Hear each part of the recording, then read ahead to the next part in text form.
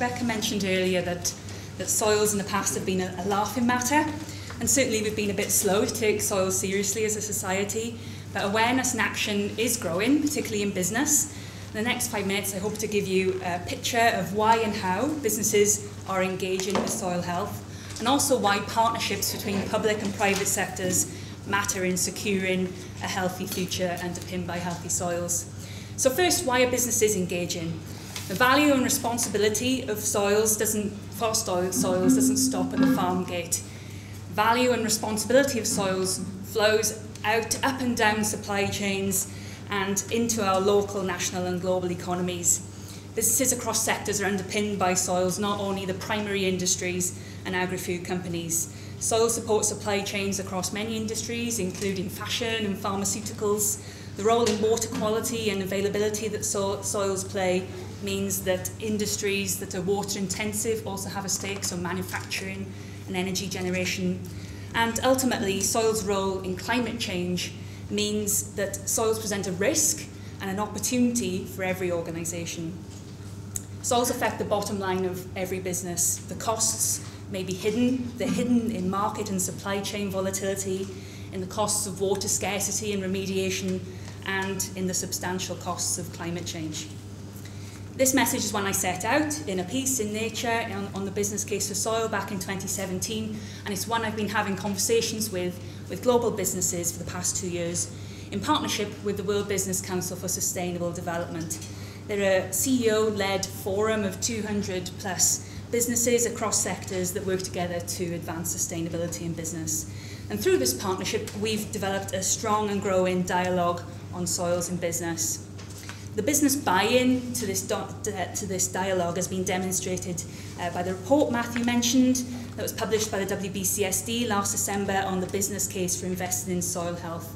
And that saw 20 plus companies across five continents, across sectors come together in co-authorship, along with NGOs and uh, other entities from the international community, such as the UNCCD. And I call it a landmark as it's the first of its kind. It's a really important signal to the international community that businesses recognise the value of soils, that soils form a material risk and a real opportunity in business. The report is, is freely available online. I have a few copies if anyone would like one. It outlines where the business case uh, for soils uh, can be made within, within organisations and gives examples of where this is already being put into practice. To name one, one example briefly, um, there's an example in there about the Midwest Crow, uh, Mid, sorry, excuse me, Midwest Row Crop Collaborative. It's like a tongue twister.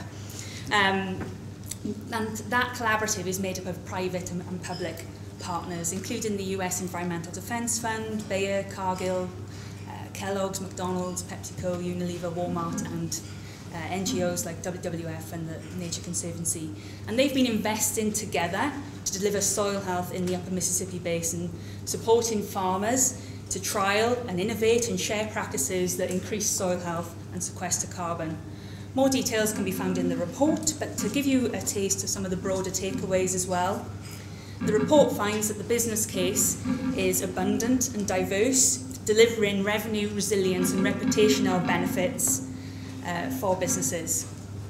The second message is that soils are a long-term business. It needs long-term changes in practice to deliver soil health, particularly in the context of climate change. But what's important here is also initial investments can be crucial in instigating change. It helps support farmers overcome those initial hurdles to change in practice. And finally, the businesses and case studies underlined time again that partnership is really key here for delivering soil health. Partnership across supply chains, across landscapes, and across private and public sector. So just to underline this point that partnership matters, an investment in soil delivers both public and private goods, and businesses recognise this. Private asset or public good, the answer is both. It delivers a broad set of values, and this needs to be reflected in our approach to investment. As benefits can be diverse and diffuse, a case predicated on one form of benefit alone or one beneficiary is unlikely to be successful. There are innovative new examples of public-private financing uh, soil health uh, beginning to emerge elsewhere. One example is the Land Degradation Neutrality Fund, spearheaded by the UNCCD and the Rockefeller Foundation and the governments of France, Luxembourg, and Norway, which is mobilizing 300 million US dollars for land restoration projects. So examples are there, the opportunity is there to scale up this approach. Government commitment ensures delivery at meaningful scales for a nation. Many businesses are ready to play their part in this partnership and I guess the question here is, is there Uh, appetite for that in policy as well?